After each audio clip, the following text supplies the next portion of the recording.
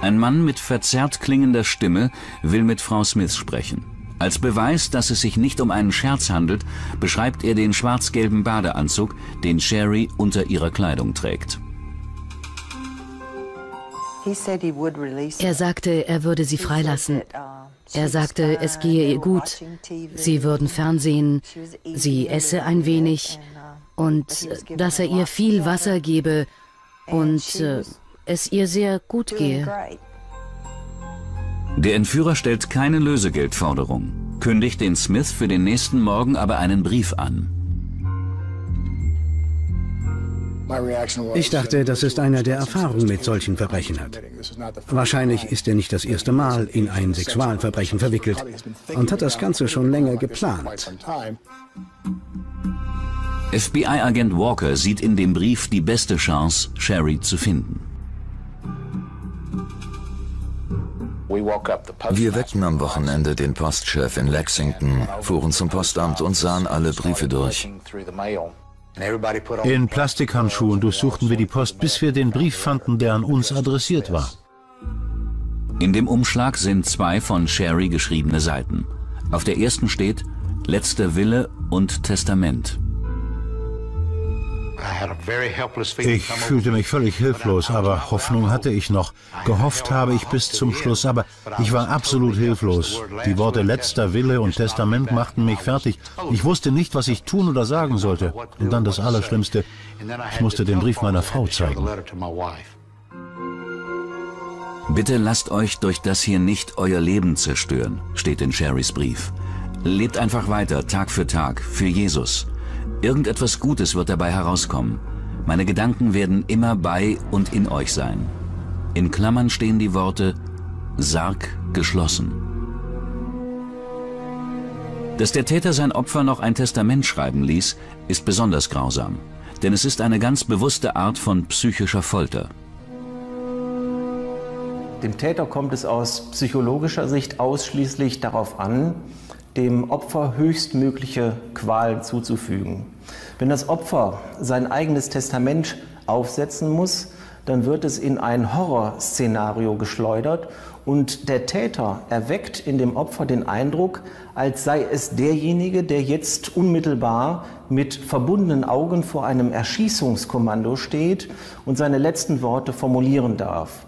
Und die Qualen, die das Opfer in diesen Situationen erleidet, sind genau der Kick, der Thrill, den der Täter anstrebt, den er braucht, um seine seelische und vielleicht auch körperliche Befriedigung zu bekommen. Sheriff Metz schickt den Brief sofort an das rechtsmedizinische Labor von South Carolina. Dort wird er von dem Schriftstückexperten Mickey Dawson untersucht. Ich schaute mir die Schrift an und versuchte herauszufinden, ob es auf dem Papier irgendwelche Spuren gab. Nach dem Eintreffen des Briefs ruft der Entführer die Smith noch einmal an. Haben Sie heute die Post bekommen? Ja, das habe ich. Glauben Sie mir jetzt? Ich weiß nicht, ob ich Ihnen glauben kann, weil ich noch nicht mit Sherry gesprochen habe. Und ich muss wissen, ob es Sherry gut geht. Das werden Sie in zwei oder drei Tagen erfahren. Warum in zwei oder drei Tagen? Blasen Sie die Suche ab. Wenn ein Täter seine Stimme durch den Einsatz eines Störgerätes verzerrt, äh, geschieht dies in aller Regel deshalb, um äh, die eigene Identität zu schützen bzw. zu verschleiern. Das ist klar. Wenn wir aber diesen Fall ganzheitlich betrachten, ergibt sich ein weiterer Aspekt, der unbedingt Beachtung verdient. Nämlich, es könnte doch sein, dass der Täter das entführte Mädchen gekannt hat und unter Umständen auch äh, näheren Kontakt gefunden hat zu den Eltern. Insofern wäre der Einsatz dieses Störgerätes äh, nicht nur geboten, sondern zwingend erforderlich. Und wenn sich diese Hypothese bewahrheitet, hätte man einen wertvollen Ermittlungsansatz, der durchaus in den Dunstkreis des Täters führen kann.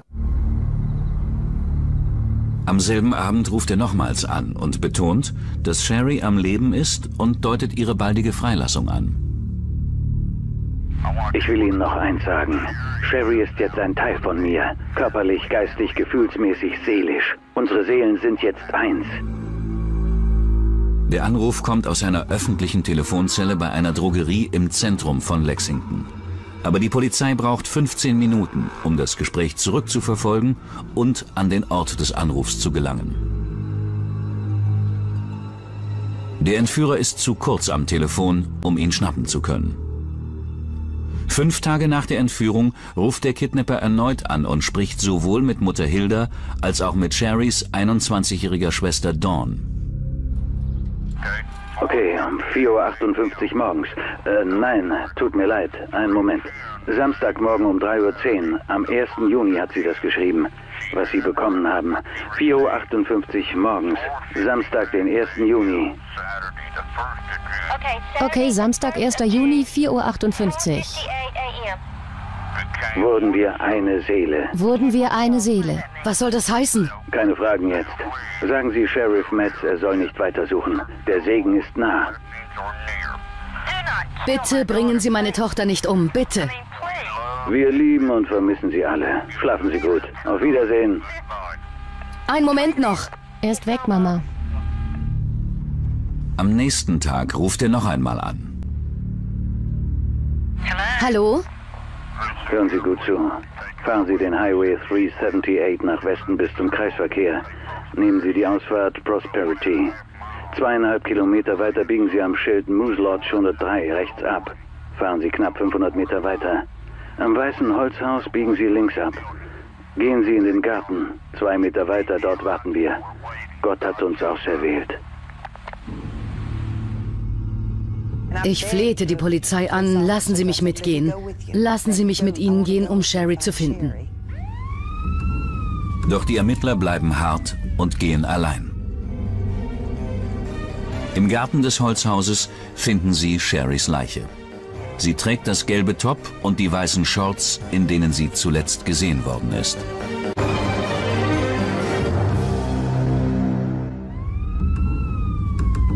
Die 17-jährige Sherry Smith ist entführt und ermordet worden. Ihre Leiche ist im Garten eines abgelegenen Holzhauses gefunden worden. Der Täter hat der Familie telefonisch den Weg zu diesem Ort beschrieben. Die Autopsie ergibt, dass Sherry schon seit einigen Tagen tot ist. Wenn der Täter die Ermittler an den äh, Ort führt, wo er die Leiche abgelegt hat, ist das ein sehr ungewöhnliches Verhalten, weil der Täter ein Beweismittel an die Polizei gibt, das äh, sehr wertvoll ist. Aus psychologischer Sicht muss man sagen, dass der Täter hierdurch zwei Botschaften formuliert. Zum einen, ich will endlich ernst genommen werden. Möglicherweise hat er äh, im Zuge der Ermittlungen und auch im Gespräch mit den Eltern den Eindruck gewonnen, äh, die nehme ich nicht ernst. Und es passiert genau das, was in seinem bisherigen Leben immer passiert ist, dass man ihn nicht ernst nimmt. Und zum Zweiten könnte dies der Auftakt äh, zu einem perfiden Katz-und-Maus-Spiel mit der Polizei sein.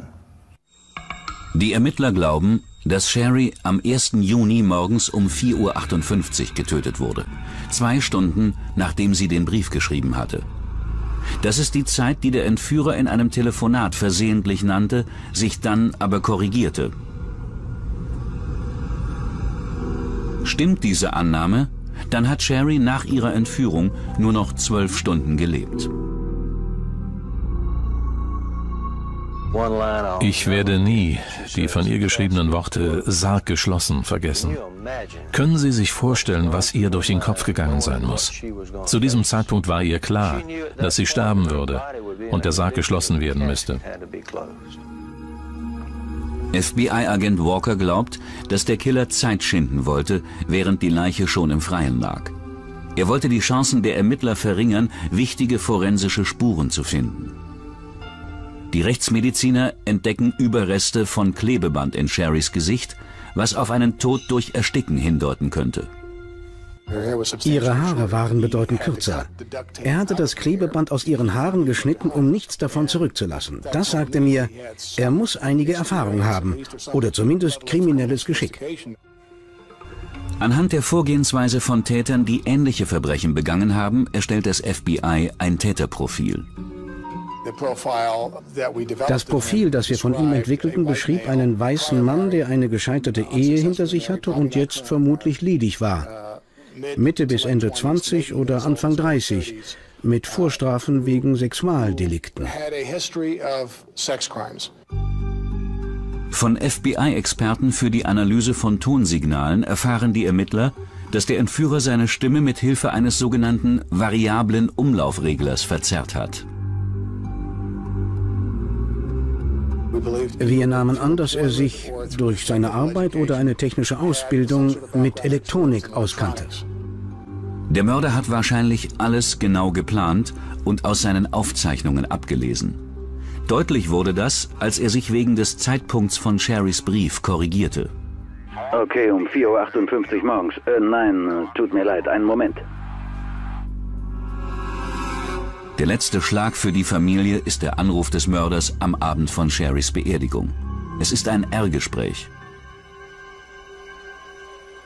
Er wollte uns sagen, wie er Sherry getötet hatte. Und er fragte, kommen Sie damit klar? Wer würde damit klarkommen? Aber wir hatten keine Wahl. Wir mussten die Verbindung irgendwie aufrechterhalten, um herauszufinden, wo er war.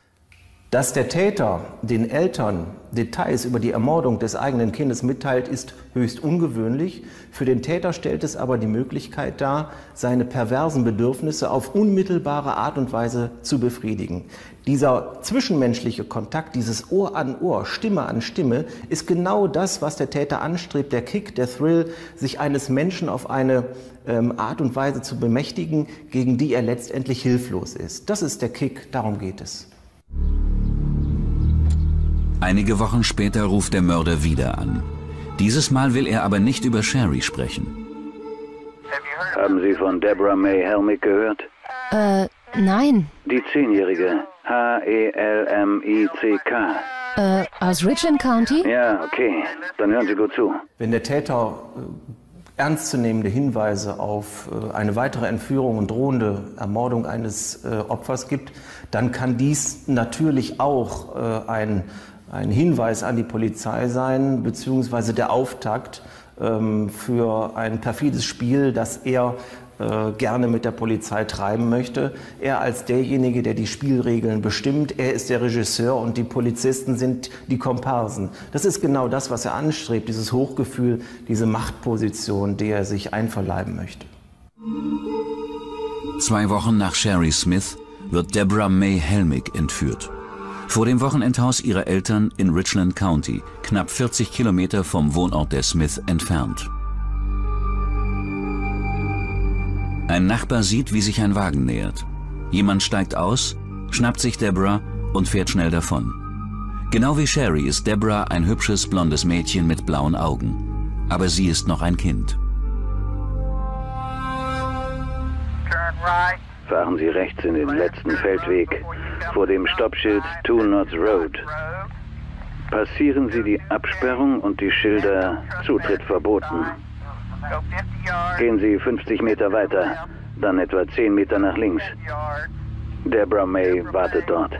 Gott vergebe uns allen. Ich dachte, das ist derselbe Täter. Jetzt ist klar, ein Serienmörder geht um. Ausgehend von ihren kriminalistischen Recherchen glauben die Ermittler, dass der Mörder noch mehr zwanghaftes Verhalten an den Tag legt. Er wird Gewicht verlieren, stark trinken, sich nur unregelmäßig rasieren und das Bedürfnis haben, über den Mord zu sprechen. In der Gerichtsmedizin von South Carolina untersuchen die Wissenschaftler weiterhin Sherrys Testament.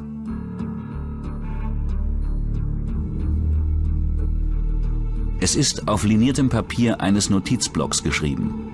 Der Dokumentenexperte Mickey Dawson hofft mit Hilfe eines elektrostatischen Spürgerätes eventuell verborgene Bilder, Worte oder Abdrücke von einer vorherigen Seite des Blocks sichtbar machen zu können.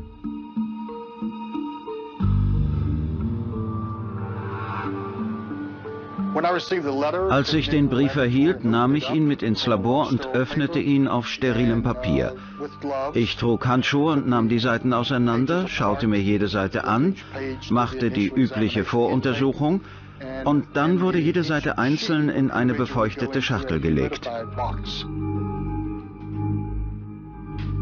Durch die erhöhte Feuchtigkeit des Papiers soll die Leitfähigkeit verbessert werden. Das Dokument wird dann auf eine Messingplatte gelegt und ein Magnetfeld wird aktiviert. Anschließend wird mit einem Pinsel eine Substanz aufgetragen, die dem Pulver für Fingerabdrücke sehr ähnlich ist. Durch eine Kombination von all dem werden unsichtbare Dinge sichtbar. Dawson findet tatsächlich etwas auf dem Papier. Darauf standen offene Rechnungen und eine Liste mit Namen und Telefonnummern, die jemand im Notfall anrufen sollte. Dawson kann einen Teil einer Nummer erkennen. Die ersten drei Zahlen 205 sind die Vorwahl von Alabama. Die nächsten drei, 837, die Nummer für Huntsville. Aber von den letzten vier Ziffern der kompletten Telefonnummer sind nur drei zu erkennen. Sie probierten an der fehlenden letzten Stelle einfach alle neun Ziffern durch und fanden eine Nummer, die existierte. Ich rief diesen Mann in Alabama an und fragte, haben Sie Verwandte in South Carolina? Er sagte, ja, Mutter und Vater. Der Vater dieses Mannes ist der 50-jährige Elektriker Alice Shepard. Er lebt nur 24 Kilometer von Sherry Smith Wohnort entfernt. Telefonaufzeichnungen belegen, dass einige Anrufe aus dem Haus von Shepard gekommen sind. Die Polizei verhört ihn. Ich hatte keine Angst, aber es war natürlich ein Schock, dass sie mit mir sprechen wollten. Shepard hat keine Ahnung, warum die Telefonnummer seines Sohnes auf Sherrys letztem Willen gefunden wurde. Er sagt, er hätte zur Zeit von Sherrys Entführung mit seiner Frau Urlaub gemacht. Ein Alibi, das sich als stichhaltig erweist. Die Polizei spielt ihm eine Aufnahme mit der Stimme des Mörders vor. Ich sagte, verdammter Dreckskerl. Sie fragten, was? Und ich sagte, das ist Larry Jean Bell. Sie waren ganz aufgeregt, weil sie wussten, dass sie jetzt den richtigen hatten. Larry Jean Bell arbeitet für Shepard und verlegt mit ihm zusammen elektrische Leitungen. Während des sechswöchigen Urlaubs der Shepards hat Bell auf ihr Haus aufgepasst. Ich schrieb Bell eine Menge Telefonnummern auf, die er vielleicht brauchen könnte, während wir weg waren. Shepard gibt die Seiten mit seinen Notizen den Ermittlern. Die Originale werden über Sherrys letzten Willen gelegt. Deren Abdrücke sind identisch mit denen, die sich auf Sherrys Brief befinden. Damit ist bewiesen, dass Sherry das Blatt direkt darunter benutzt hat. Die Shepards sagen aus, Bell habe sie vom Flughafen abgeholt und dabei von nichts anderem gesprochen als von der Entführung und dem Mord an Sherry Smith. Bell habe an Gewicht verloren, sei unrasiert gewesen und habe einen sehr erregten Eindruck gemacht. Dies ist ein Polizeivideo, das im Haus der Shepards aufgenommen wurde. Die Ermittler finden im Badezimmer sechs blonde Haare, die Sherrys Haaren ähneln. Die Briefmarke mit einer Ente, die auf Sherrys Brief klebte, passt zu einem Briefmarkenbogen in Alice Shepards Schreibtischschublade.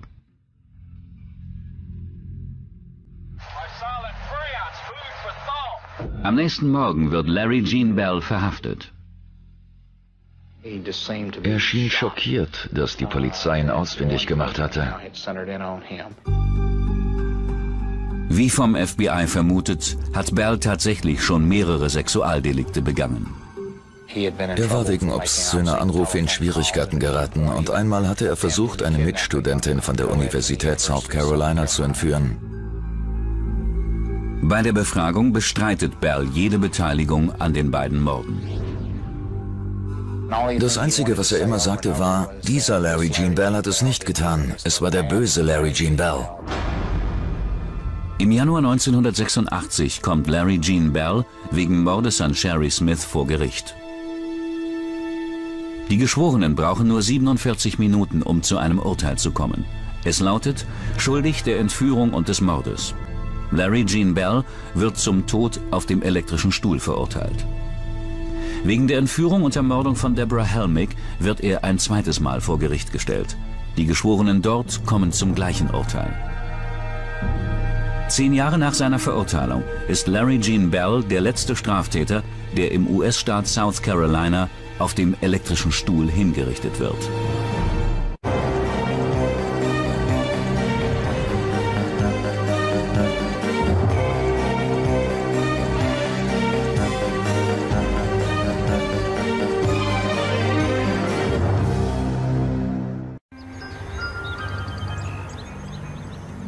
140 Kilometer nördlich von New York City.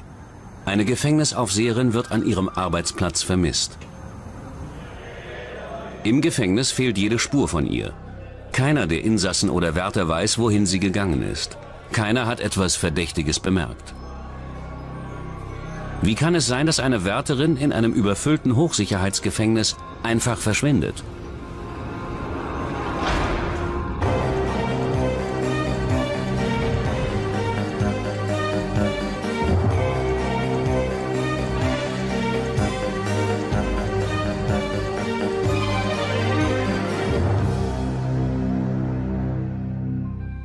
Staatsgefängnis Green Haven, eine der härtesten Strafvollzugsanstalten in den USA. Eine überfüllte Anstalt voller Gewalt. 1800 der brutalsten Kriminellen aus dem Staat New York verbüßen hier ihre Haftstrafen. Ich glaube, Greenhaven war zu der Zeit im Staat das Superhochsicherheitsgefängnis. Und jeder da drin saß lange Strafen ab. Jeder da drin war ein übler Krimineller. Es gab keine Neulinge. Es war von den Insassen her gesehen ein richtig mieser Ort. Mehr als 500 der Gefangenen sind verurteilte Mörder. 1981 ist das erste Jahr, in dem weibliche Strafvollzugsbeamte in diesem reinen Männergefängnis arbeiten. Es gibt 50 von ihnen, ausnahmslos Anfänger in diesem Job. Eine von ihnen ist die 31-jährige Donna Payont. Wenn ich Donna und ihre Persönlichkeit beschreiben soll, würde ich sie als sehr willensstarke, unabhängige, entschlossene Person bezeichnen. Mit einem starken Sinn für Gerechtigkeit. Donna hat drei Kinder. Ihr Mann ist auch Strafvollzugsbeamter, arbeitet aber in einem anderen Gefängnis. Die Familie akzeptiert ihre Berufswahl, einige ihrer männlichen Kollegen jedoch nicht. Während ihrer Zeit an der Akademie kommt einer der Ausbilder nachts ungebeten in Donners Zimmer. Donna reagiert mit einer Anzeige wegen sexueller Belästigung, überlegt es sich später jedoch anders und zieht die Anzeige zurück. Am 15. Mai 1981 erscheint sie kurz nach 12 zum Dienst. Etwa eine Stunde später ist Donna mit zwei anderen Beamten zusammen. Da klingelt das Telefon. Es ist ein Anruf für Donna. Donna Payant erhielt am frühen Nachmittag jenes Freitags einen Anruf. Es war ein seltsamer Anruf und nach Einschätzung der Kollegen, die mit ihr arbeiteten, war ihre Reaktion nach dem Anruf irgendwie beunruhigend. Die anderen Beamten wissen nicht, von wem der Anruf stammt. Später sagen sie aus, Donna habe sich von ihnen abgewandt, damit sie nicht mithören konnten. Sie legte auf und ging hinaus, ohne zu sagen, wohin sie wollte. Donna Payant war erregt, nicht in dem Sinne, dass sie nervös war, sondern sie war verärgert. Ihre Worte waren, damit ist jetzt Schluss, das hört jetzt sofort auf oder etwas in dieser Art. Und dann rannte sie raus. Fünf Stunden später, beim abendlichen Appell, fehlt Donna Payant. Die Gefängnisleitung veranlasst sofort Notmaßnahmen. Alle Häftlinge werden in ihre Zellen gesperrt. Beamte durchkämmen das Gefängnis, gehen alle Blöcke ab, durchsuchen Büros und Freizeitbereiche. Von Donna Payant fehlt jedoch jede Spur. Das ist ein Hochsicherheitsgefängnis. Man hat den Überblick, wer kommt und geht. Und es gab keinen Hinweis, dass sie die Anstalt verlassen hatte. Früh am nächsten Morgen erhält die Gefängnisleitung eine schreckliche Nachricht. In einer nahegelegenen Abfalldeponie, wohin jeden Tag der Gefängnismüll gebracht wird, haben Arbeiter die übel zugerichtete Leiche einer blonden Frau gefunden. Sie trägt die Uniform einer Gefängniswärterin und ist in einen Müllsack gewickelt. Am Tag nach dem Verschwinden von Donna Payont wird ihre Familie ins Gefängnis Greenhaven gerufen. Wir wurden von ein paar Offiziellen empfangen und da wusste ich, dass etwas nicht stimmte. Also gingen wir da hinein und sie sagten uns, sie sei tot und sie hätten sie auf einer Müllkippe in der Nähe gefunden. Die Leiche auf der Mülldeponie wird eindeutig als die von Donna Payont identifiziert. Sie ist die erste Strafvollzugsbeamtin überhaupt, die in den USA in Ausübung ihres Dienstes ums Leben kommt. Abdrücke an den Handgelenken und am Hals beweisen, dass sie gefesselt und erdrosselt wurde. Als Todesursache wird Strangulierung festgestellt und es gibt Anzeichen auf sexuellen Missbrauch. Mein Vater war völlig fassungslos. Er hat das nie überwunden. Die Leiche ist durch die Abfallpresse eines Müllfahrzeugs gegangen. Das bedeutet für die Ermittler, dass die Leiche im Gefängnis in eine Mülltonne gesteckt worden sein muss. Dort wurde sie von der zuständigen Abfallfirma in den Mülltransporter gekippt. Auf der Mülldeponie ist die Leiche dann noch von einem Bulldozer überfahren worden, der den Abfall einebnet. Jeder einzelne Knochen ihres Körpers war gebrochen. Sie war mit jeder Art von Schutt, Müll und Dreck bedeckt. Außerdem war es sehr, sehr nass. Und jedes Indiz, das es vielleicht einmal gegeben hatte, wurde zwangsläufig durch diese fremden Stoffe, die ihren Körper bedeckten, vernichtet. Wenn Donna Payons Leiche Greenhaven mit dem Gefängnismüll verlassen hat, dann muss der Mörder aus der Haftanstalt sein und mehr Zugang zu Einrichtungen haben als ein normaler Häftling. Aber wer im Gefängnis wollte ihren Tod? Wurde sie von irgendwelchen Häftlingen schikaniert? War sie eine strenge Aufseherin, die Gefangene hart anpackte? Gab es einen Grund, warum ein Häftling sie angreifen wollte? Außer Zugang zu bestimmten Einrichtungen benötigt der Täter auch einen ungestörten Ort, um diesen Mord zu begehen. Da Gefängnisaufseher genau diese Bewegungsfreiheit haben, geraten sie ins Zentrum der Ermittlungen. Nur drei Tage vor dem Mord sehen Zeugen einen männlichen Aufseher in heftigem Streit mit Donna Payont. Es kommt zu Handgreiflichkeiten. Als sie sich nach der hitzigen Auseinandersetzung von ihm abwandte, soll er ihr auf Schulter und Rücken geschlagen haben. Er war sehr erregt. Schon bald stellt sich heraus, dass dieser Aufseher zu den vielen anderen in Greenhaven zählt, die etwas zu verbergen haben. Es gab Leute im Gefängnis, die ein Motiv hatten, Donna zu töten. Ich glaube, wegen all der illegalen Aktivitäten, die zur Zeit ihres Todes und schon lange vorher dort vor sich gingen, gab es nicht nur Leute, die ein Motiv hatten, sondern auch welche, die dazu imstande waren, ein solches Verbrechen zu begehen. Diese Machenschaften werden in einem Bericht aufgezeigt, der nur zwei Wochen vor dem Mord an Donna Payont veröffentlicht wurde. Die Aufseher im Gefängnis Greenhaven werden darin verdächtigt, mit den Gefangenen Geschäfte zu machen. Aufseher verkaufen Drogen und beschaffen den Insassen sogar Prostituierte. Ein Netz aus männlichem Klüngel kann dies über Jahre geheim halten, aber einige der neuen Aufseherinnen wie Donna Payont wollen sich daran nicht beteiligen. Und weil Donna schon früher einmal eine Anzeige wegen sexueller Belästigung gestellt hat, bekommt sie schnell den Ruf als Petze. Sie war schon als Person abgestempelt, die melden würde, wenn etwas nicht stimmte oder wenn es illegale Machenschaften gäbe. Als jemand, der so weit wie möglich nach oben gehen würde, um es den Vorgesetzten zu sagen. Während der Autopsie von Donna Payons Leiche stellt der Rechtsmediziner fest, dass sie nicht nur sexuell misshandelt wurde, er findet auch Bisswunden. Eine halbmondförmige Wunde auf ihrer Brust ist besonders deutlich zu erkennen. Einige der Zahnabdrücke waren offensichtlich viel tiefer als andere. Und man konnte sehen, dass die Zähne, so wie ich das in Erinnerung habe, nicht gerade die besten waren. Sie waren, wie man sagt, nicht perfekt geformt. Die Bisswunde, die Abdrücke, die Erdrosselung und die sexuelle Misshandlung. All dies deutet darauf hin, dass dieser Täter bereits früher gemordet hat.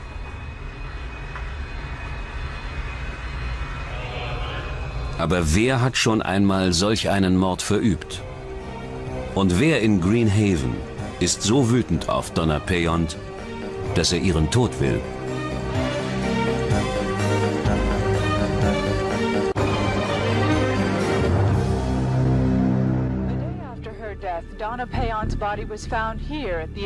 Die Nachricht vom Mord an der Gefängniswärterin Donna Payont verbreitet sich schnell im ganzen Staat New York.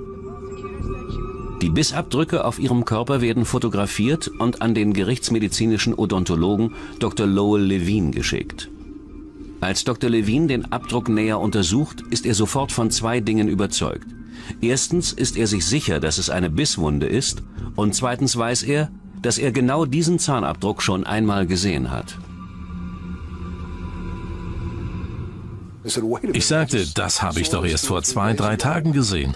In einer Vorlesung über einen Fall, der vier Jahre zuvor in Schenectady, New York, passiert war. Es war der Fall der 30-jährigen Mary Lee Wilson, die mit einem Strang erdrosselt, sexuell missbraucht und gebissen wurde. Sofort stellt Dr. Levine sich die Frage, ob der Mörder von Mary Lee Wilson in dem Gefängnis sitzt, in dem Donna Payont gearbeitet hat. Ich dachte, Moment mal, Lemuel Smith muss dort in Haft sein und Zugang zu dieser Frau gehabt haben. Die Antwort lautet ja. Der 39-jährige Lemuel Smith befindet sich zu dem Zeitpunkt in Green Haven. Er hat neben dem Mord an Mary Lee Wilson noch einen weiteren gestanden. Beide Opfer wurden auf dieselbe Art und Weise getötet. In beiden Fällen hat er seine persönliche Handschrift hinterlassen. Allerdings hat sich Lemuel Smith während der vier Jahre im Gefängnis zu einem Musterhäftling entwickelt. Er entdeckte die Religion für sich, wurde Messdiener und schließlich sogar Assistent des katholischen Priesters. Diese neue Stelle gibt Smith innerhalb der Haftanstalt enorme Bewegungsfreiheit. Freiheit, die die meisten Häftlinge nicht haben. Es ist völlig ausgeschlossen, dass ich sie getötet haben könnte. Die Frau wurde geschlagen, angeblich auch abartig misshandelt. Sehen Sie, auf diesem Gang ist unheimlich viel los. Dann wurde sie gefesselt, in Müllsäcke gesteckt und angeblich in einen Müllbehälter geworfen. Ich weiß, Sie haben noch nie versucht, eine Leiche hochzuheben. Die ist zweimal so schwer. Die ist total schwer. Das geht überhaupt nicht.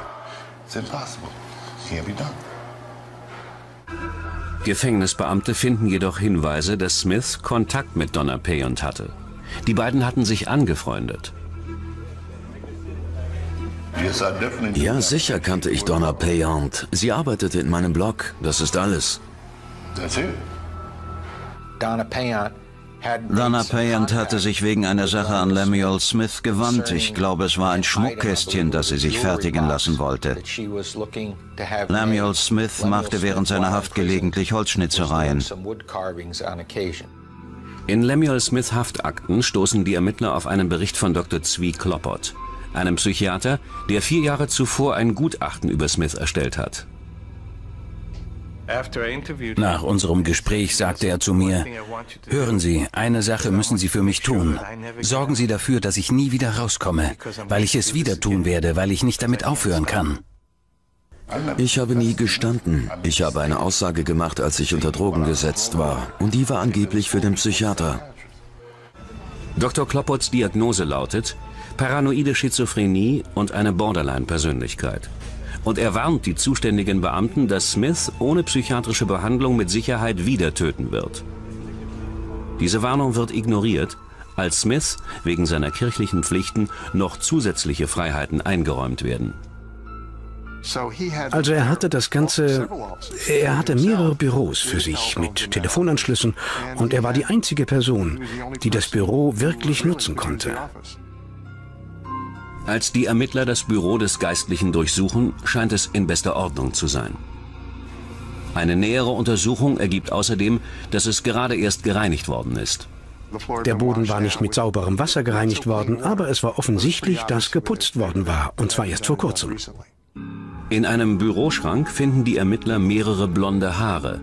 Bei der mikroskopischen Analyse wird festgestellt, dass sie mit Donna Payons Haar identisch sind.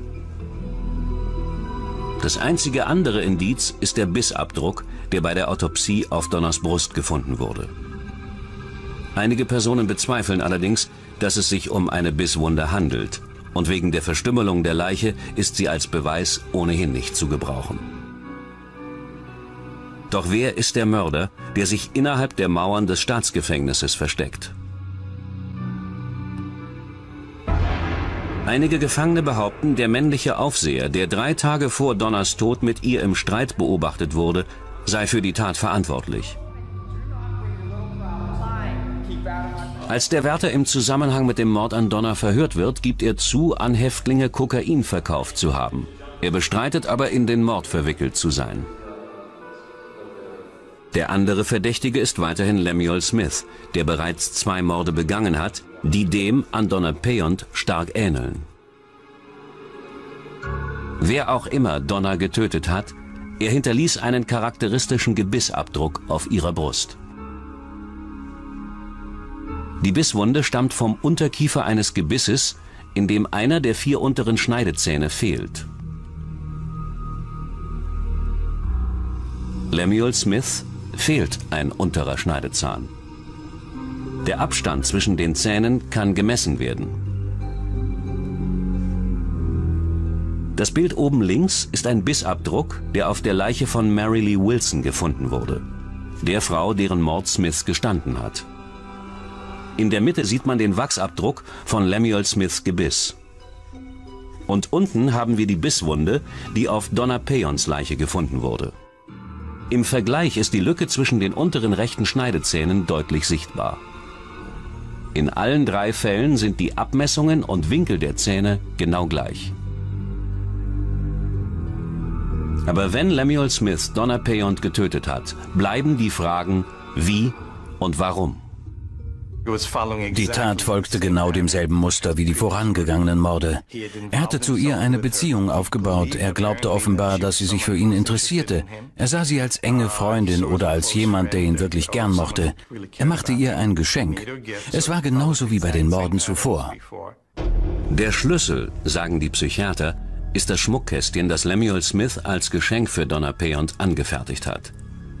Die Polizei glaubt, dass der Anruf, den sie kurz vor ihrem Tod erhielt, von Lemuel Smith kam, der ungestört aus dem Büro des Gefängnisgeistlichen anrief. Ein persönlicher Anruf von einem Häftling wäre für eine neue Beamtin wie Donna Payont peinlich gewesen. Andere Aufseher sagen aus, Donna habe nach dem Anruf aufgebracht gewirkt und den Raum plötzlich verlassen.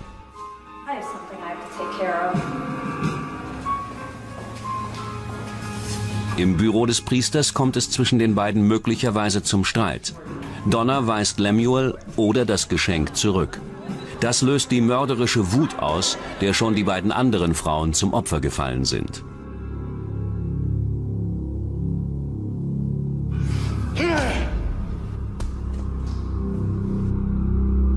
Er misshandelt sein Opfer sexuell, er wirkt und beißt es.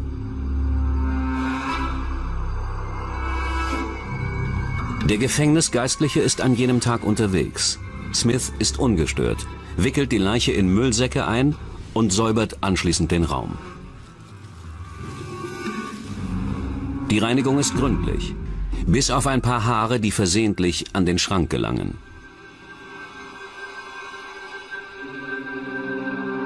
Smith hat auch genug Bewegungsspielraum im Gefängnis, um die Leiche unbemerkt zum Müll zu schaffen.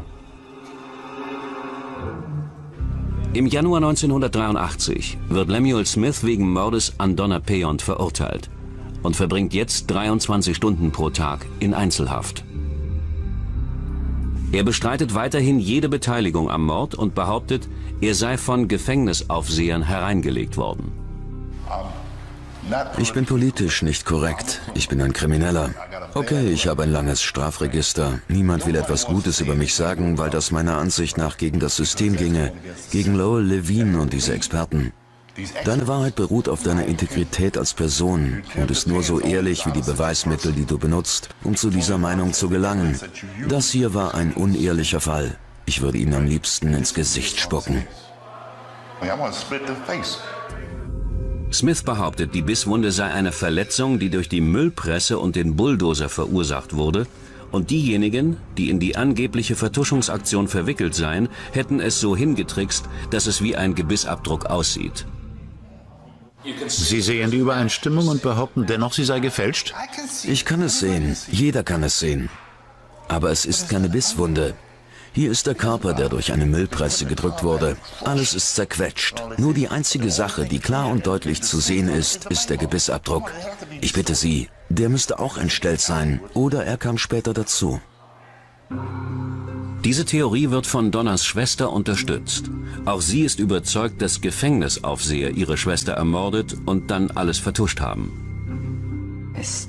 Ich glaube einfach nicht, dass ein Häftling in einem Hochsicherheitsgefängnis sich einen Aufseher herauspicken und dann töten würde, mitten im Gefängnis, am helllichten Tag. Ich glaube das einfach nicht. Es ist nicht möglich. So etwas ist noch nie vorgekommen und es ist seither auch nie wieder passiert. Ich weiß nicht. Ich hoffe, sie findet ihren Seelenfrieden. Ich hoffe, sie bekommt Gerechtigkeit für ihre Schwester. Das hoffe ich wirklich.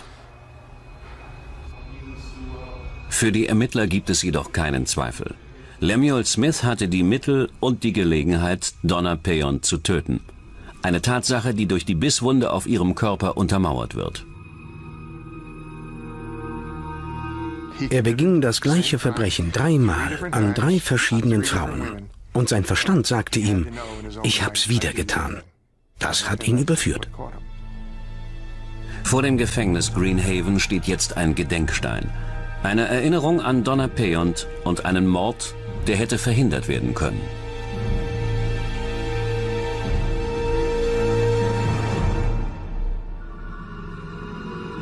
Eine Überwachungskamera nimmt Bilder eines 19-jährigen Mädchens auf, das gerade aus einem Supermarkt entführt wird.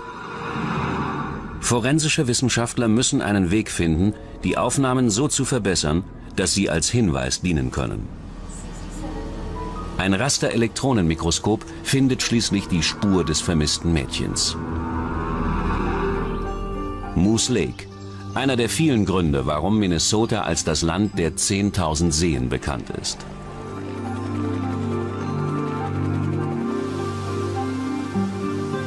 Aus dieser Kleinstadt in der Nähe von Duluth stammt die 19-jährige Katie Poyer. Sie war lebhaft. Sie sprang immer herum und war stets voller Leben und in allem sehr aktiv. Katies Leben dreht sich um drei Dinge. Ihre Familie, Sport und ihre Hunde. Sie wollte Polizistin oder Wildhüterin werden. Sie hat sich immer sehr für Tiere interessiert. Nach ihrem Highschool-Abschluss im Jahr 1998 belegt Katie an einem nahegelegenen College einen Kurs über Strafrecht. Außerdem verlobt sie sich mit ihrem Freund Mark. In dieser Tankstelle in Moose Lake bekommt Katie einen Job, der ihrer Mutter aber Sorgen bereitet. Ich habe sie wiederholt gefragt, mit welcher Art von Abschaum hast du es doch zu tun? Und sie sagte immer, ach Mama, du musst dir keine Sorgen machen. Und wissen Sie, so war sie einfach. Sie fasste sehr leicht Vertrauen. Eines Nachts, Katie ist allein auf Nachtschicht, ruft ein Kunde gegen Mitternacht bei der Polizei an und meldet, das Geschäft sei zwar geöffnet, von den Angestellten fehle aber jede Spur.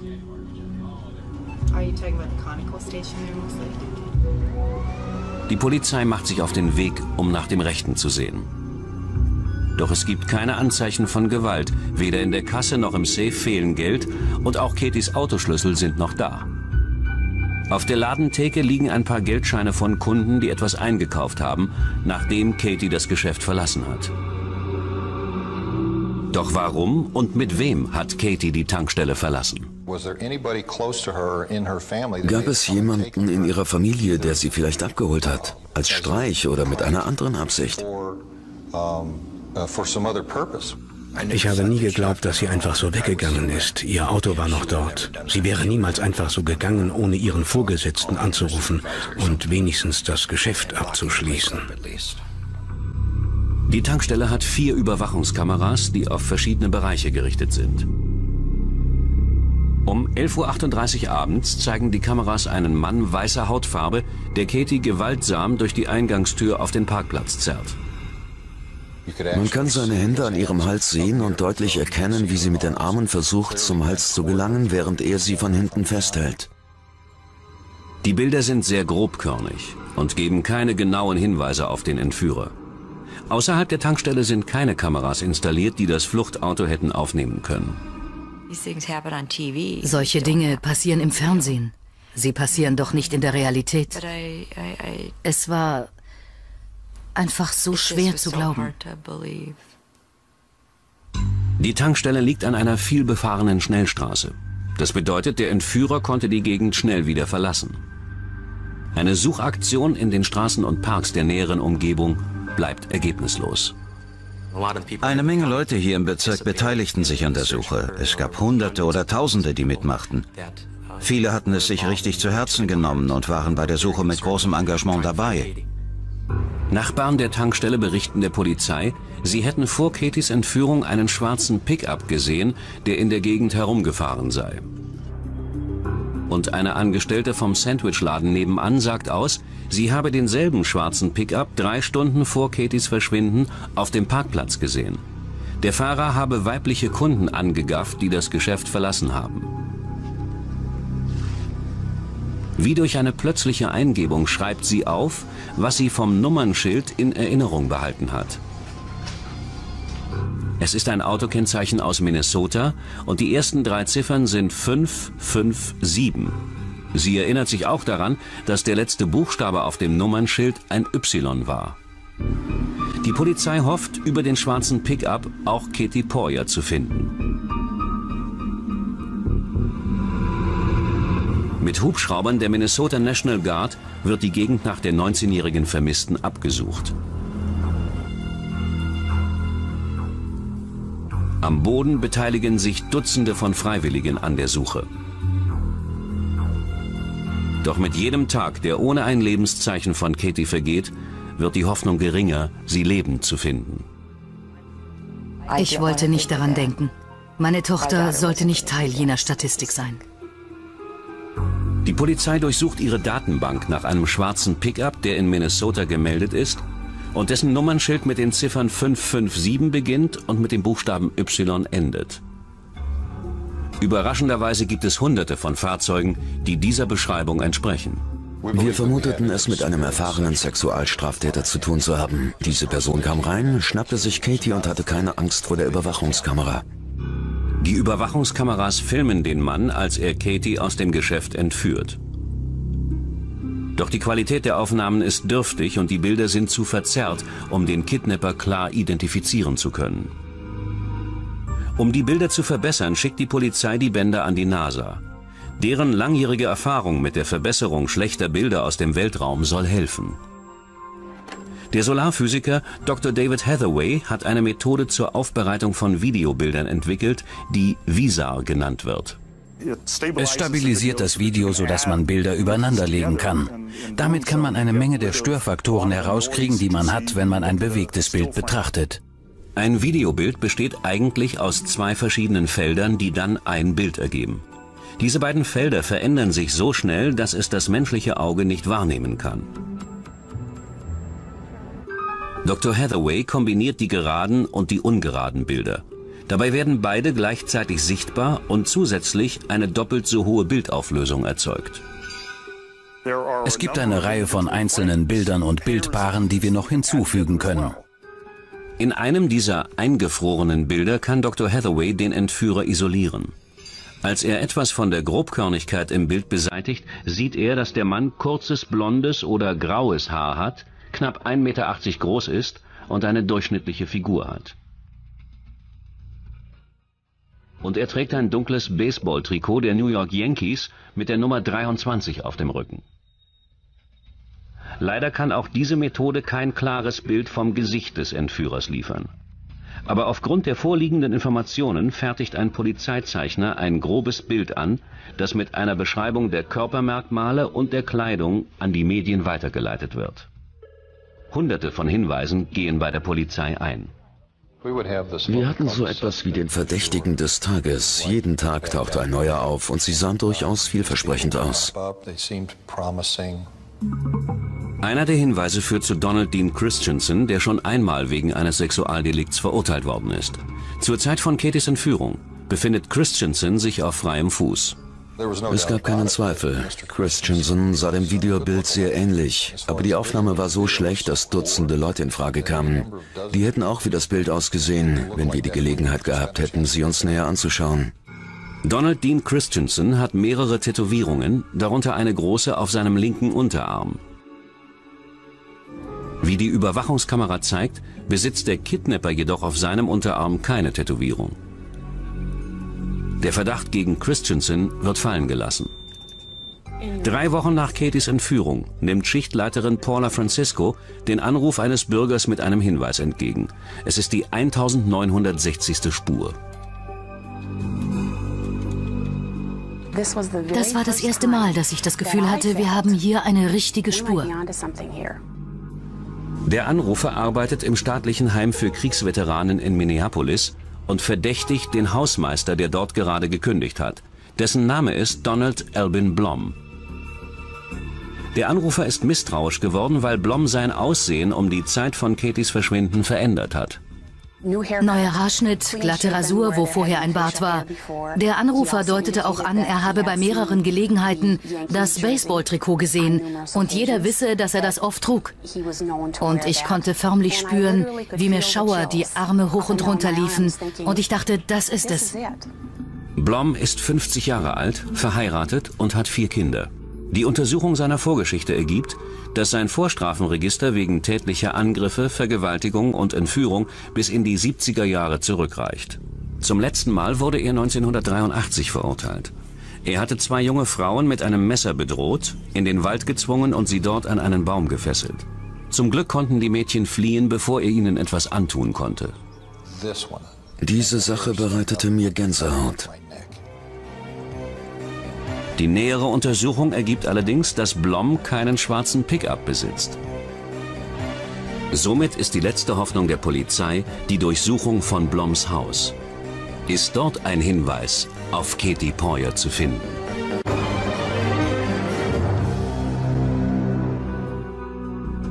Bei der Durchsuchung von Donald Elbin Bloms Haus findet sich keine Spur von Katie Poyer. Blom sagt aus, er sei unschuldig und habe für die Nacht von Katys Verschwinden ein Alibi. Als die Ermittler erfahren, dass Blom in der Nähe von Moose Lake ein Ferienhäuschen besitzt, wird es durchsucht. Ich dachte mir, okay, Sie haben diesen Kerl und der sagt Ihnen, wo sie ist und wir holen sie einfach dort ab. Und die Behörden, die Polizei, die tun, was sie tun müssen. Ich jedenfalls habe mein kleines Mädchen wieder zu Hause. Doch erneut gibt es keine Spur von Katie. Aber die Ermittler bemerken neben einem Trailer auf dem Gelände eine große Feuerstelle.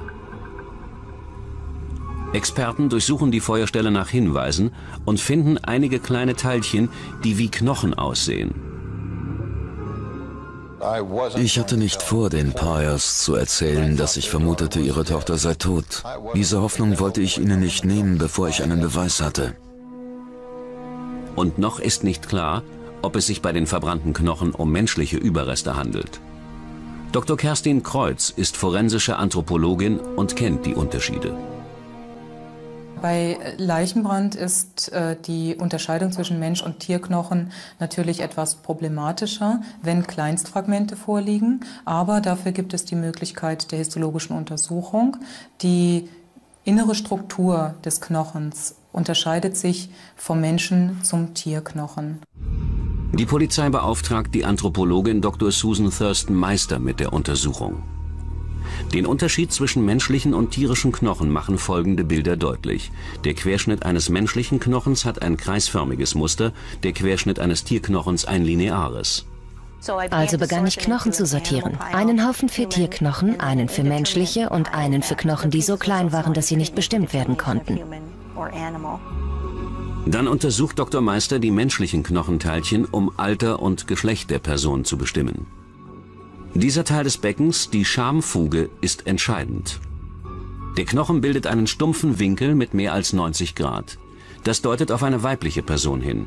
Und die ovale Oberfläche ist stark zerfurcht, ein Kennzeichen für eine junge Erwachsene. Bei diesen beiden äh, Becken, wie wir sie hier vorliegend haben, ist ganz deutlich im vorderen Anteil, und zwar hier im Bereich des Schambeins, in diesem Winkel ein Unterschied zu erkennen. Wenn ich die beiden nur mal kurz anzeige, sind diese beiden, und zwar wie sie zueinander stehen. Hier haben wir beim Mann einen kleinen eher spitzen Winkel, der fast V-förmig ist. Und bei der Frau, da komme ich mit den beiden Fingern gar nicht hin. Da muss ich schon den Daumen und den Zeigefinger nehmen, muss ich einen großen Winkel, der weit über 90 Grad ähm, geöffnet ist, ähm, andeuten. Damit ist hier auf der rechten Seite ganz eindeutig ein männliches Individuum im Gesamtaspekt zu erkennen und hier auf der linken Seite ein weibliches Individuum. Schädelteile dienen der Altersbestimmung. Ich habe am